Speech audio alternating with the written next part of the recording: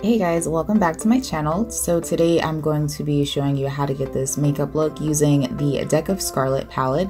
And this palette is amazing. It's basically like a complete makeup look all in one. This Deck of Scarlet palette is made by Roxette Arisa and here's what that looks like.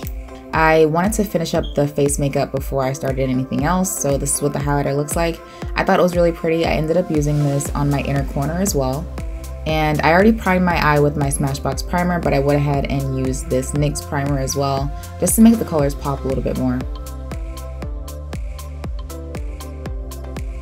Next, I'm taking this taupe shade and using that on my crease, and then going in with this really pretty shimmery brown shade and using that, using that in my crease as well, kind of blending that out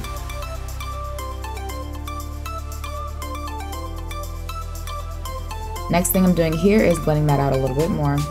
I'm going to go ahead and cut my crease using my same NYX eyeshadow base and um, this really small brush here.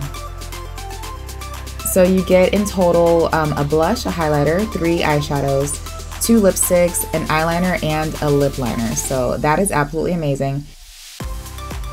After that, I'm taking this pink shade, and this pink shade is actually supposed to be a blush, but I'm not really a big fan of pink blushes on me. I feel like they don't really look that great, so I decided to use it as an eyeshadow. All of these um, powder shades you can use interchangeably, like you can use them as eyeshadows, highlighters, and um, kind of just switch it up a little bit, so that's what I did. And then I'm taking that brown shade and using that again on my waterline and using the same highlighter color on my inner corner.